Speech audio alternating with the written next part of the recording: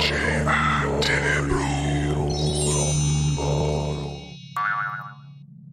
So this is Sandy Petersen, and now we're going to talk about spaceships. And uh, this is another quiz. If you're sick of quizzes, um, there may not be any for money for a while after this, but uh, who knows? I like quizzes, mostly not because the quizzes themselves are cool, because I get to talk about a whole bunch of weird movies that otherwise, you know, kind of on a same basic topic. So let's talk about this. By the way, this ship at the front of it is not in the quiz because like it would be dumb. So let's go on. So first, we're going to have a bunch of one-point spaceships. So give yourself one point for these. And as always, if you get a really high score and you can prove it to me in person, then I will buy you a drink. And you don't have to prove it like beyond the shadow of a doubt. Just like kind of convince me, and I'll buy you a drink. You, you have to catch me at a convention or somewhere though. Um, I'll be in Germany in October though, so there's a good chance if you're European. First ship. Woohoo! I think everyone can get this one, and this was kind of cool because it was um, it gave evidence that the U.S. history was good because it's named after famous American ship. And of course, this is the NCC 1701, which is the USS Enterprise. And um, it's interesting to know that if in the Battle of Coral Sea, the Japanese had hit the Enterprise instead of harder instead of the the Yorktown, we might today have this be the Yorktown instead of the Enterprise. So, anyway, there it is. It's the Enterprise, and it is a great spaceship. And as a kid, I would watch this show, and this was the first show where spaceships weren't flying saucers or rocket ships although the, the front disc is kind of flying saucery. And so we would sit around, me and my friends, and try to figure out why the ship was designed to look like this. And it was pretty cool also, because clearly this thing cannot land on a planet's surface. It's made to be in space, which was cool. Anyway, we just like, it was fascinating. It was a great science fiction show, and it has a lot of features of it, which I won't go into now because we have other ships to do. But let's go on to ship number two. Woohoo! And this is a thing that today is as famous probably as the Star Trek stuff, because this is, of course, a X-Wing from Star Wars, and it is a true spaceship, not a fighter, because we know from the second movie that you can fly in one of these things across the gal not across the galaxy maybe, but at least from one star system to another star system. I like that you can see the little R2D2 unit in it that I guess does repairs and stuff. Anyway, X-wing fighters, an iconic thing, and this was interesting because in Star Trek the ships are portrayed as more like ship-to-ship stuff, like World War One cruisers and battleships fighting, and in Star Wars suddenly there's carrier action, which is kind of interesting. So, uh, kind of updated, I guess. Okay, on to number three. What is this? This is from the greatest Star Trek movie ever made, because it is from Galaxy Quest. Which, if you love Star Trek and you haven't seen Galaxy Quest, do yourself a service and watch it because it is a treat. And uh, it's funny and it's good and it and it and it like pulls the uh, the, the curtain away and lets you look at how goofy Star Trek is, and that's cool because if you like Star Trek like I do, you also know it's goofy, and that's okay. I won't say any more about it because spoilers and stuff, but man alive, if you haven't seen it, go see it. Uh, maybe I can trick you into go seeing it by telling you that, that uh, Severus Snape is in it, which is actually true. So now on to the next thing. Here we are. A lot of people have seen this. I've talked before about how I'm not a super fan of this show because I prefer to have my own crappy friends make fun of the movies instead of having fake friends. But hey, they are actually pretty funny and they have some clever things. And this is, of course, The Satellite of Love from Mystery Science Theater 3000. And it's probably intentionally shaped like a penis, but it wasn't my decision. On to number five. Okay, so this was a big deal. This was the first um, knockoff of Star Wars, of course, and it was actually turned out to be a pretty good knockoff. Um, and this is, as we know, the Galactica from Battlestar Galactica, which was redone recently and and is good. Even the new one. The old one had some good parts, some bad parts, but overall was good. I liked the space battle scenes in it. It was kind of cool that the that battle stars were tougher than the the Cylon ships, but but there was more of them, so it still had a problem. Anyway, I liked it and uh, I'm sure everyone kind of likes it, but no one loves it the way that you love Star Wars or Star Trek, or at least like we used to before our franchises were killed by Hollywood. And that's the one thing that now unites Star Wars and Star Trek fans, knowing that the franchises have been soullessly have their souls ripped out. Thank you, Hollywood. On to number six. Woohoo! So this is a show that you guys probably know better than me. So you probably know this guy better than me, but I know what it is too, because it is the Futurama ship. I guess it's really the Planet Express, but it's like their spaceship. And um, I thought it was interesting that they didn't make the ship look that goofy. I mean, it's a little bit goofy, but it's not real goofy. It's not like Jetsons level goofiness. It's almost like they wanted you to believe in the spaceship a little bit. And it's also interesting that they made it look like a Buck Rogers ship, like the rocket ships they used to have in the old days instead of like a Star Trek ship. So I guess, you know, they know what they're doing. On to number seven. Anyone recognize this? Hopefully you do, because it's from a pretty famous uh, uh, science fiction movie. Because it is the Discovery One from 2001: A Space Odyssey in which Hal, and and here's a trivia thing you probably all know, but on the off chance someone from Tajikistan is watching this, Hal, the initial letter H A L are this is IBM except one letter earlier. So the H like so it's IBM but it's H A L. So that was it was really a knockoff of IBM. Um, back when IBM was like the big computer guy, which you know they're not now, but whatever. Okay, on from 2001: A Space Odyssey, which was an attempt to make realistic science fiction, to number eight, which is not an attempt to make realistic science fiction, but an attempt to make fun science fiction. And I loved this show like everyone else, and was sad when it got canceled like everyone else. But on the other hand, the fact that it got canceled, and this is of course the Serenity from the TV show Firefly, which is also interesting because Firefly is the name of the class of ship that this is. It's a Firefly, but the name of this particular one is Serenity. There are presumably other Fireflies going around somewhere. Um, that was interesting. Anyway, the, the, the, thing that was interesting is that perhaps the fact that it lasted one season is kind of good because it meant that we can look back to that season and it never got a chance to really jump the shark and get sucky. Um, I guess it kind of jumped the shark and got sucky with the movie, but uh, oh well. Anyway, wasn't as sucky in the movie.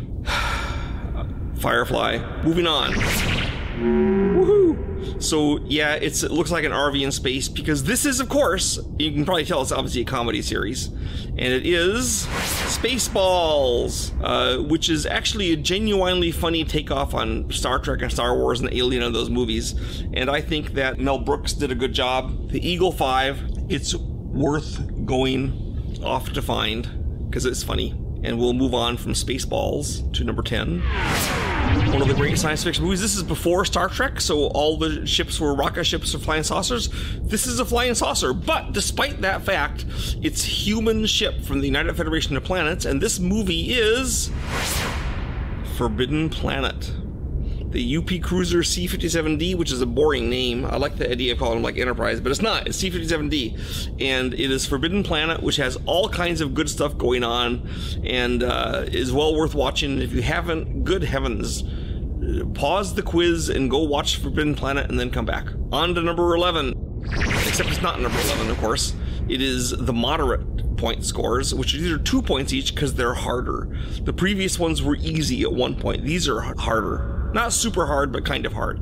Let's go on to the first one, number 11. What's that from? I saw this on TV and really wanted it to be good.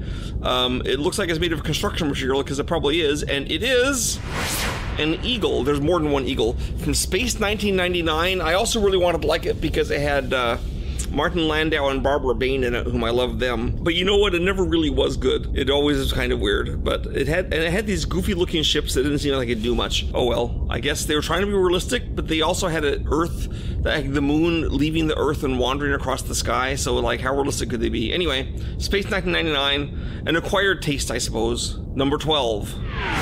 Yeah, this is not an acquired taste at all. This is good to the last drop. I recommend it and um, this is actually from near the end of the movie, and that is you. Maybe you can't tell, but that is a flying saucer crashing into the Capitol building, which lets you tell exactly how big the flying saucers are. By the way, if you do a measurement, and this movie is. Earth versus the flying saucers. And yeah, it's just called a flying saucer. But there's flying saucers, they come to Earth, they do terrible things. You do see the aliens in their suits. Uh, the suits make them look like these huge buff guys, but they're actually little scrawny things. And then the at the end of the movie, they find out that uh, playing country music or something kills the uh, spaceship, so they start crashing into everything. And then we get to have Ray Harryhausen destroy all of our monuments in loving detail, and that is a great day in movie history.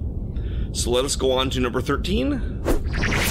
Yes, I love this ship because it looks delicate, and when it finally gets destroyed, I know spoiler, whatever, it, it, it's like an exciting moment. And this is the ship Cygnus from the black hole, and uh, I have told you before that I love this movie, and uh, if you had seen it, you would too. And if you haven't seen it, then you wouldn't. But I guess that's kind of looking glass logic. Go see it, and you'll love it. On to the next movie, number 14. Um, you can look at this ship for a long time, and look how bright those colors. Now, stars do have colors, like there's red and blue and green stars, but they're not like neon red and blue like this. This is unauthentically red and blue, so I'm just letting you know. And this is, of course, Count Zarth Arn's flagship from Starcrash, which he made look like a giant hand for some reason. And it's even dumber in the movie than it looks here, but it looks pretty dumb here. Uh, anyway, Star Crash is a crappy Italian movie trying to be cool. And uh, I love crappy Italian horror, Italian movies, but uh, I guess I kind of love this one, but not enough to recommend it like I did The Black Hole. On to number 15. This movie is an Italian movie I totally recommend and think is one of the greatest horror movies ever. And I have used it as Call of Cthulhu scenarios and science fiction adventures, and all. I just love this movie. This is one of my go to movies that I show people every chance I get, and it is The Planet of the Vampires. There's two spaceships on it, actually, the Argos and the Galliot. And uh, you're probably wondering how a movie called Planet of the Vampires can be good if you haven't seen it, and the answer is because they are not vampires. They are, in fact, mind parasites, and they are terrifying. Uh, and they resurrect the dead, and the colors of the whole thing are great. And this is, this is a wonderful, wonderful movie that I recommend without. It's just like one of my favorite movies. So, if you think you would like any movies that Sandy likes, you would like this one Planet of the Vampires. I do not approve of that name, but I approve of the movie. On to the next movie, number 16. I know it looks like a terrifying movie. You're probably thinking, hey, is this the ship from The Thing? And the answer is no, it is not. Because this is, in fact, the ship from Flight of the Navigator. And this is the Trimaxion drone ship, which is a wise-cracking, joking ship that goes along with the kid. And so it's pretty crazy. And if you like crazy 80s movies, this is one of them and it features this as a wisecracker and joking thing. I, am shaking my head, you can't see it, but it's like, what were we thinking? Number 17. Oh, yeah.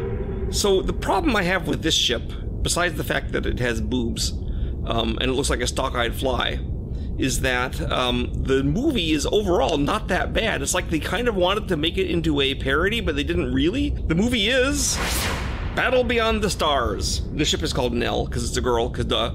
Uh, so Battle Beyond the Stars, which features all kinds of people like Robert Vaughn, is essentially the Magnificent Seven, which is of course the Seven Samurai, and it's the Seven Samurai in space. And Corman kept trying to make it jokey, but it kind of works without the joke. So I'm not sure why. Uh, one scene he has a heroic death by a major character trying to save the others, which is really cool. And then in another scene he has people roasting marshmallows off or over an alien's body because the alien has a really high body temperature, like thousands of degrees. So it's like they weren't sure where they wanted to go. I cannot say I wholeheartedly recommend. If you want to watch a comedy in space, I'd recommend Spaceballs or um, Galaxy Quest.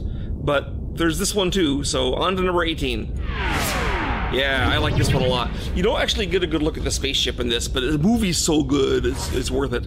And this is The Thing from Another World man, this is a good movie. And what's happening here is that these the scientists have found, or the Arctic explorers have found something in the ice, and so they get out there, they can barely see it, so they're standing in an attempt to at the edge of it to see what shape it is.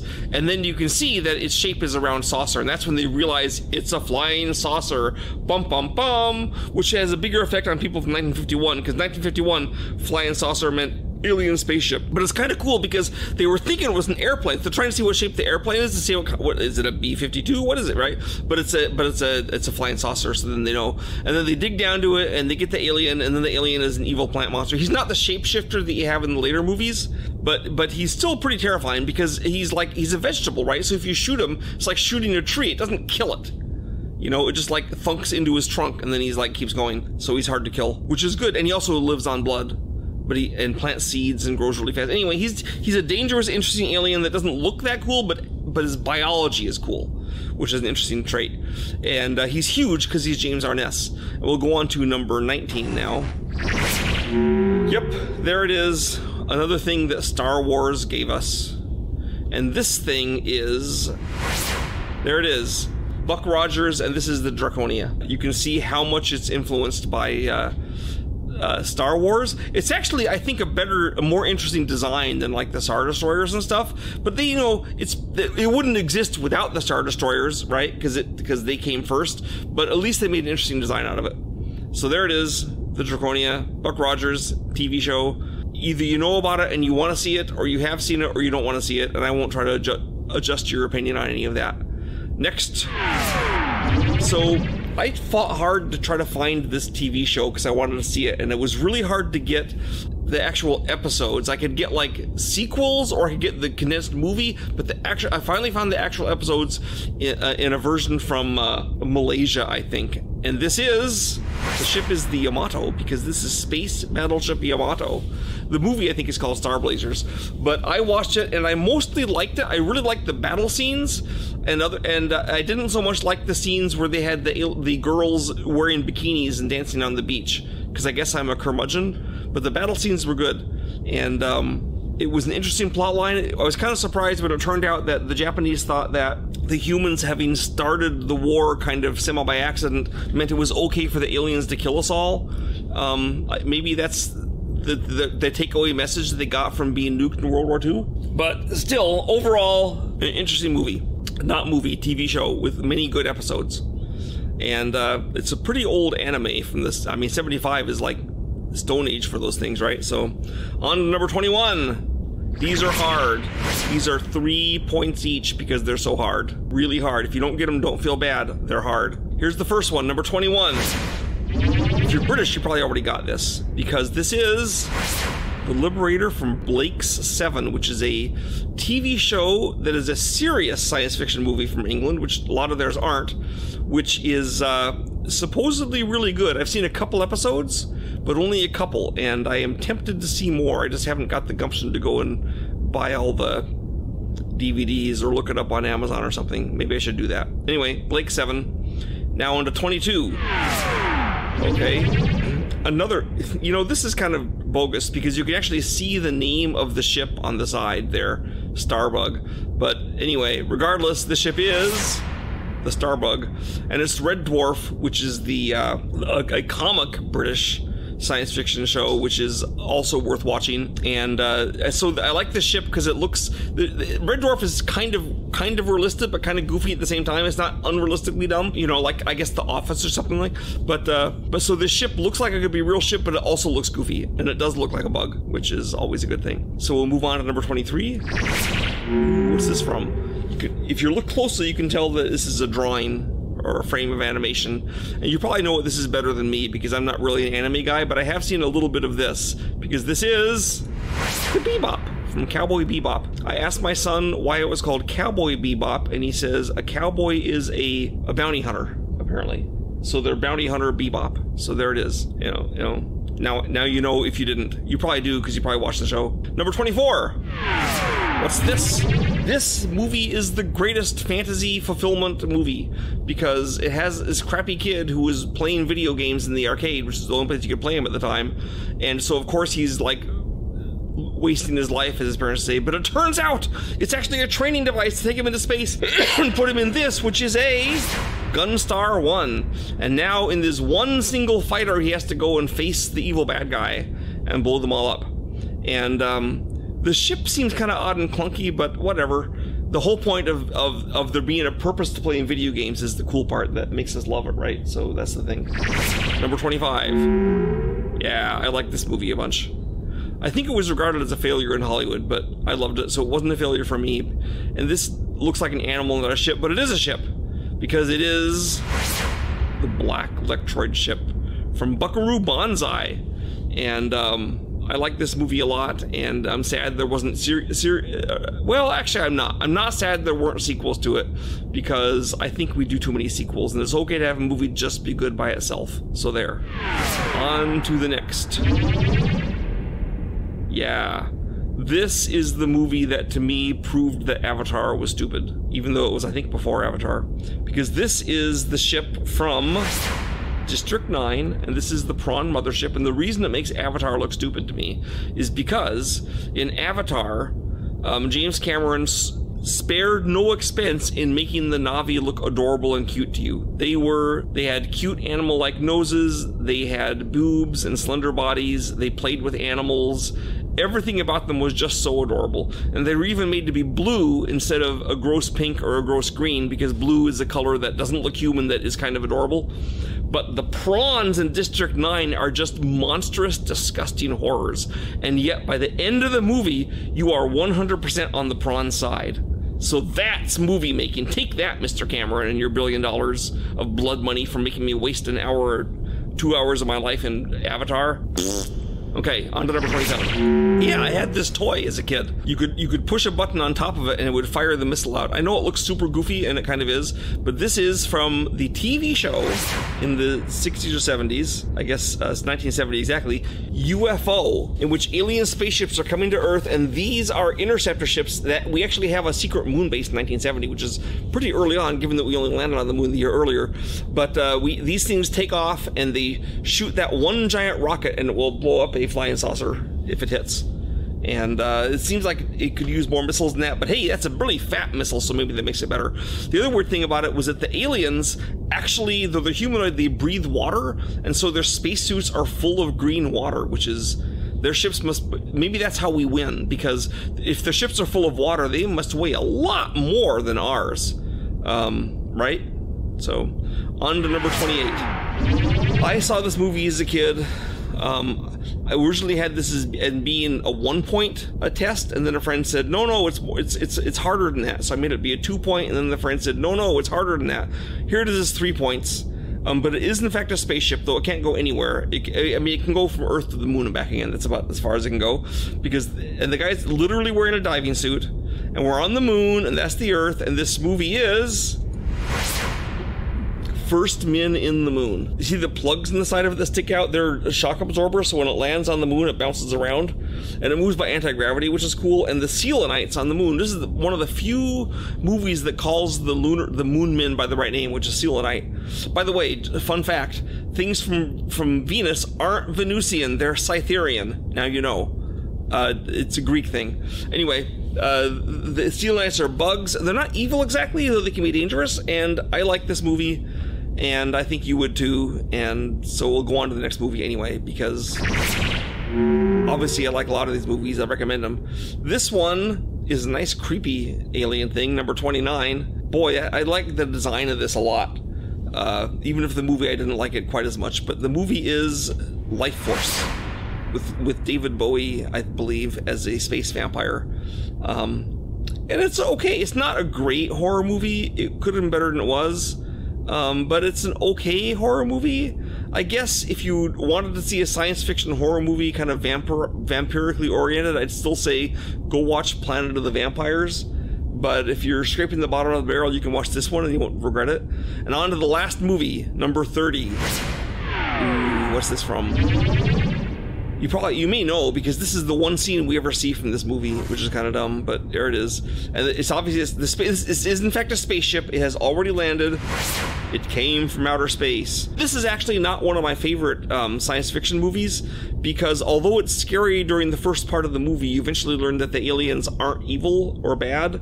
They're just like tragically misunderstood or something. And so it's kind of like this whenever the monsters turn out to not be bad, I always think it's sort of lame, so I thought this was kind of lame too, but there it is. So, I hope you liked my spaceships film. I hope that you have an inkling to sign up for me as a subscription, get notifications, or perhaps buy things. Hopefully, they're showing an image now of some things I have. I have a lot of things in my store you can buy. And uh, why aren't you buying them? Uh, well, because you're penniless like everyone else this year. But uh, but uh, think of me if you ever do get any spare money. Thanks.